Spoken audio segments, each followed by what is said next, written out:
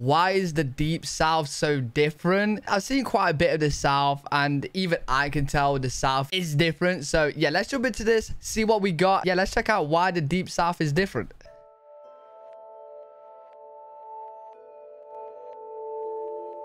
Why is the South so much different than the rest of the United States? Every region and subregion in the US has cultural differences and quirks that might be considered odd in other regions. The Right. poster child for this, of course, is the Deep South Georgia, Mississippi, Alabama, Louisiana, and South Carolina. Other southern states have some of the same Oh. differences, they just have a little bit more in the Deep South. That is beautiful. If, by the way, if you're from the south, you gotta let me know in the comment section. Is it true, whatnot? And uh, yeah, just stuff like that. We ran a survey and asked what region is the most unique when you compare it to the other regions in the US. The Right. South won by a landslide. In this video, we're going to explore what those differences are. Some of you will see some of these things in other regions, but they're probably not as big a deal as it is in the South, in the Deep South. When I was Ah. in college, I did a few papers on this subject, and I was heavy into cultural geography. After World War II and US presidents, the cultural differences between the regions in the United States is what I've spent a majority of my time reading about over the years. I find this fascinating. Always have. So in this video, we're gonna take a look and find out why the Deep South is effing weird compared to the rest of the country. Got it? Get it? Good. Wait, wait, wait. We were saying different. What, what is weird? Is more weird? The, the south is more weird than America? Let's take a look. okay. The history. The southern United States is a region that has interested both its own people and outsiders for a very long time. Its rich mix of culture, history, and values make it different from the rest of the country. One of the main reasons the South is so unique its history, especially the times when there was slavery and eventually the Civil War. Before the Civil War, the southern states depended on growing crops like cotton on giant farms, and they used enslaved people to do the work. Big farms and plantations were the main source of revenue for the Deep South, and it was very profitable. I mean, when you don't have to pay your labor, anything's profitable, I guess. Well, Even though obviously, yeah. slavery ended in the United States over 150 years ago, its effects are still seen on how different races interact and the Southern way of life. The Civil War.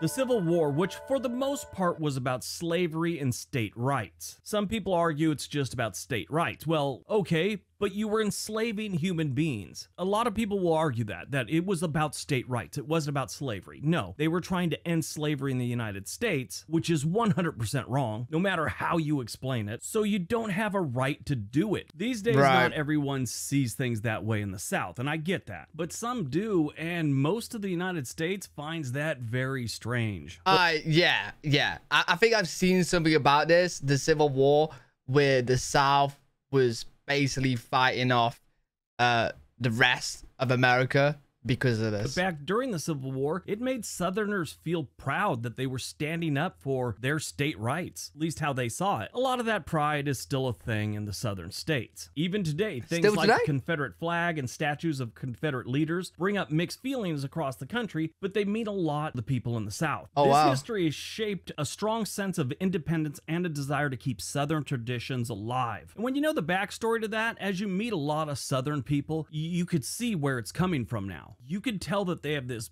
big thing about independence and pride in their state or their region. The only place you'll find independence like that in the United States that's as strong as it is here are the western states where it was kind of frontierish, like Wyoming, Montana, and Nevada. Could probably throw Idaho in there too, but I don't think it's as strong there. Oh, interesting.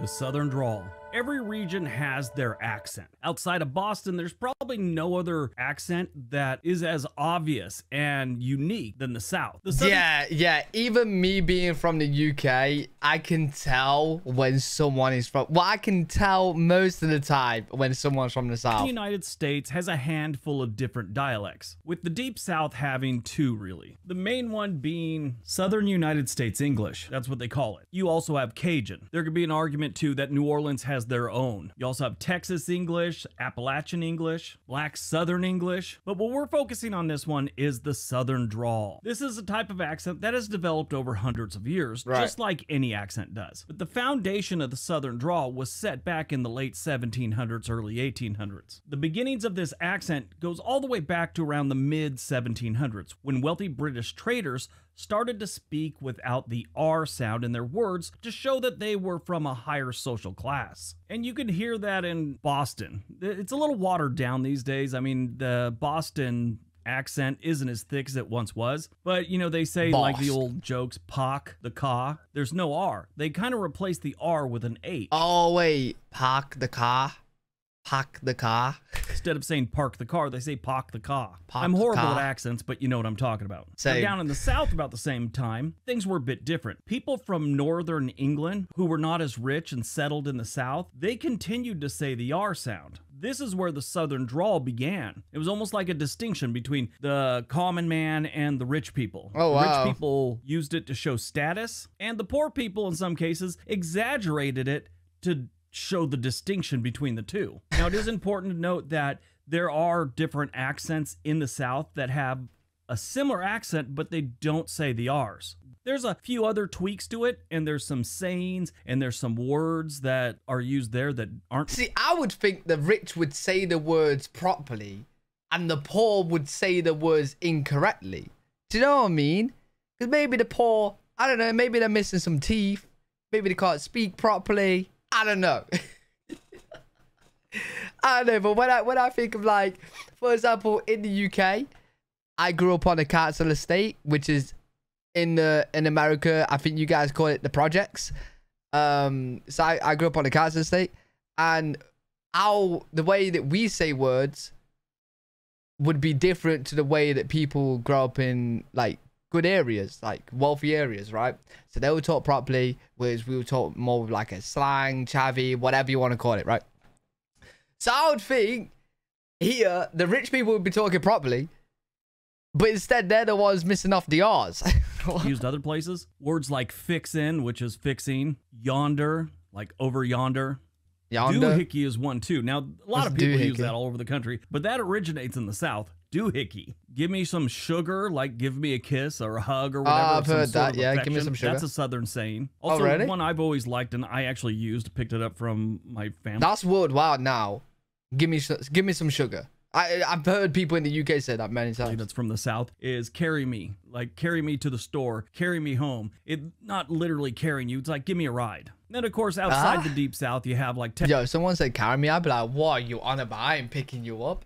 what do you mean carry Texas with y'all. Quit being ugly. That's a Southern saying meaning quit being a pain in the butt. One of the absolute best things is when they use bless your heart. Now, I talked about this in other videos that bless your heart is a nice thing to say to someone. Oh, bless your heart, you know. Right. That's very common for Southerns to say. But they don't just use it as a sign of affection. They also use it as a little backhanded thing when they think you're dumb. Almost huh? like, oh, bless his heart. He's too dumb to figure it out, but at least he's trying. Wait. Wait. Some of you guys have said that to me in my comments. And I thought you meant bless me as in like, like a nice way. Like bless you, you know what I mean? Like bless you. You saying you're doing it as a backhand a compliment? Is that what you're doing? You give me a backhand? I've seen quite a few times in my comment section, bless your heart. Now I know. I'm responding to you now.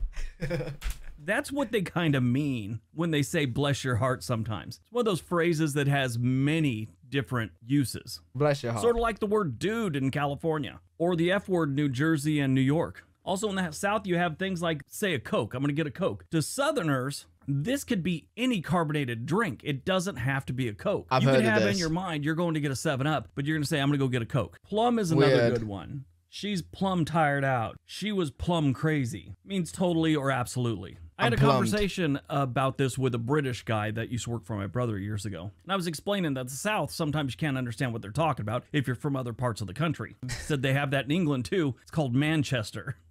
No, wait. Parts of the country. What? Said they have that in England too. It's called Manchester. Really? Maybe. I don't know. Maybe. I'd think more like Liverpool is we got like in the UK, we like people in the UK, most people struggle to understand people from Liverpool. the economics. Economically, the South's focus on farming played a big role in making it unique. Unlike Right. the more industrialized North, the South's economy was based on crops and farming. This created a different way of sharing money and a social system where there were clear differences between landowners, farm workers, and enslaved people back in the day. This economic gap and the reliance on farming have influenced how the South does politics and how people act, setting it apart from the more industrial North. Obviously, the South is changing now. You've got Atlanta is a pretty serious tech spot with movies being made there all the time now. Florida has some things going on. It's, it's a lot different than it used Oh to be. Oh, yeah, I forget that Florida's like all the way south, isn't it? But a lot of that carries over. It becomes part of their culture. People from outside the South see it, they think it's kind of strange. The South has a history of a simpler life. A lot of that has to do with that farming type lifestyle where you work the land. That's how this region of the United States started out, and that's how they became what they are today. So sure, things have changed, but that mentality and culture will stick with them forever. Religion. Religion and a strong sense of being conservative have also helped make the southern states a little bit different. For a long time, the South has been known for its strong belief in evangelical Christianity, which really affects their lifestyle, like Uh. politics, values, and families. This has made the South more traditional and conservative on social matters, Oh, you know what? I've never actually seen an American church. Like in a church in the UK, you know it's a church. Like I can see that this is a church now, but it, without seeing the cross, it kind of just looks like a normal building, right?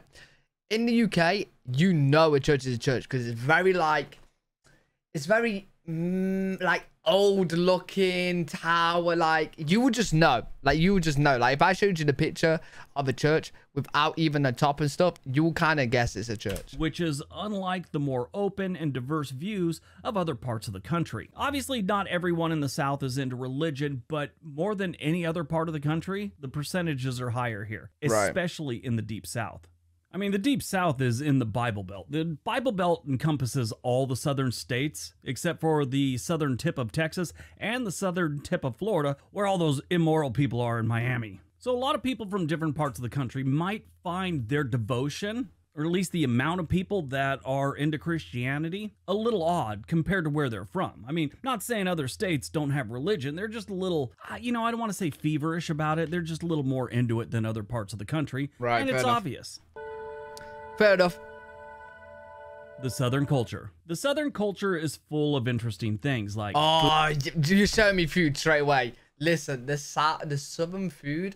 Oh my, it looks unreal. food, music. The so Southern culture has become famous all over the world, and that's how most people know about the South. It's through the music, through the food. These things have played a big role in keeping the Oh. Southern traditions alive and strong, making the region even more unique compared to the Oh, what's that? I don't like look at that. Bring back the other food. rest of the country. Many, many years ago, when the Berlin Wall came down and people started crossing just back, it was all over the news. This teenage guy, he might have been 20 or something, came across the border and they were interviewing people. And they're all, How does this feel? He's all, It's great. I'm going to go to America. That's what he, first thing he said. They're all, Why do you want to go to America? He barbecues, Lynyrd Skynyrd, jeans. I was just like, Oh my God. Yo, that sounds like me, bro. Like I'm trying to escape the UK. They're like, yo, why do you want to go to America? Barbecue, food, drinks, free refills. This guy wants to make it to America so he could see Lynyrd Skynyrd. I don't even know if they were performing back then, but still. I was don't like, even know Lynyrd that is. Skynyrd. The guy just comes from a communist country, gets a little freedom. He's like, I'm going to see Lynyrd Skynyrd. and in case you don't know, Lynyrd Skynyrd is probably one of the most successful bands to ever come out of Alabama. That band was Right. like the founding fathers of Southern rock. In my personal opinion, I think the music, more than anything else, has played a big part in letting the South be known outside the United States and North Uh-huh. America. Think all the way back to B.B. King, Elvis, the Marshall Tucker Band, Charlie Daniels Band from back in the day, John Lee Hooker, Wilson Pickett, Howlin' Wolf, and even the Allman Brothers from Jacksonville, Florida. The politics. In terms of politics, Oh, the South has usually leaned more towards conservative beliefs compared to other places in the country. The South This might be where I get a bit lost. South, especially the Deep South, is considered very red, very Republican. It's like they could always count on winning the southern states, especially the deep south. La- Which side? Oh, I'm guessing Republicans is Donald Trump's side and Democrats is Biden's. Last couple elections, Georgia's been looking a little iffy, but the rest of the southern states are solid red states. It's like every election, you know they're going to win those, and you know the Democrats are going to win California and New York. The southern states have been supporting conservative Republicans for decades. They just seem to fit the political views and the priorities that the southern states want, for the most part. Whenever I say something like that, you always get a bunch of people going, Well, I voted for the Democrats and I live in Mississippi. Whenever we talk about states, we're talking about averages. Everyone's different. You're always going to have some outliers. Oh, yeah, But of course. For the most part, the South is very red. This is another strange thing that you'll find in the South and not as much in other parts of the country. People openly talk politics and they complain about politics to complete strangers, just like it's normal small talk. Some- Yo, listen, if I go to America and you come up to me and start talking about politics, I'll be like, huh? I'll like, all I know is Donald Trump, Donald Trump, Biden, Clinton, and Obama. So I know. That's all I know. parts of the country, you'll go, How about this day? Yeah, this weather's killing me. I can't stop sweating. That's how a lot of conversations happen with people you don't know in public in most of the country. In the South, Right. it's not terribly unusual to have a conversation with a complete stranger and they start off with these damn politicians. Country's going to hell in a handbasket. That Oh, really? I've had a few people bring that up in the comment section when we've done things on southern states or southern cities. They'll say something like they moved to a southern state after living in Nevada most of their life and they are surprised how openly aggressive these people are about politics and how casually they just discuss it. Most of the time, people try and avoid politics with total strangers. Not in the South. Years Right. ago, I saw a YouTube video where the guy's interviewing people, Southern people, they were living in a trailer, and this guy just starts going off about these damn politicians giving handouts to everyone and no one wants to work. And he's on a rant, and all of a sudden, this woman's voice from inside was like, Charlie, what are you talking about? You've been on disability and social security for 10 years. He's all, but I need that. The way the cameraman pulled the camera away from him was just, it spoke volumes. He was just like, oh God. But politics are definitely a big need to see that difference clip. in the South compared to other parts of the country. Sure, you have places in the Midwest that are Republican states, but they don't get into it as much as they do in the South, especially the Deep South. And I think a lot of that has to do with their distrust of the government. No other part of this country hates the government like the Yo, I got a really good idea for this video. In the comment section, let me know are you red or blue and your reasons why. And if you see anyone else that's opposite you, go to town on them. Tell them why yours is bad. I'm kidding. I'm kidding. Do not start a, poli- a politic debate in my comment section. I've seen it before and you... Now that I've said it, I've already screwed it. Don't do it, please. Don't do it. Actually, don't do it. Serious. Just leave, leave it be. Leave it be. southern states do. And that feeling What can be started? traced back to the Civil War and beyond. So, in conclusion, the southern United States stands out because of its mix of history, economy, society, and politics. Slavery and the Civil War, the focus on farming, strong religious beliefs, and conservative values have all made the South have its own identity. Even as Right. the country has changed over time, the South has held on to a lot of its traditions and ways of life, making it a region that is special and interesting in the big picture of the United States. I actually learned a lot. Really interesting. I would love to go to the south, mainly for the barbecues that they do. Really interesting video. Enjoyed that. I hope you guys enjoyed it as well. If you did, let me know what you guys think in the comment section. If you guys enjoyed, make sure you leave a thumbs up, subscribe for more content. I'm live every single day on twitch.tv forward slash. If you guys want to check me out over there, I'll see you all in the next one. Peace.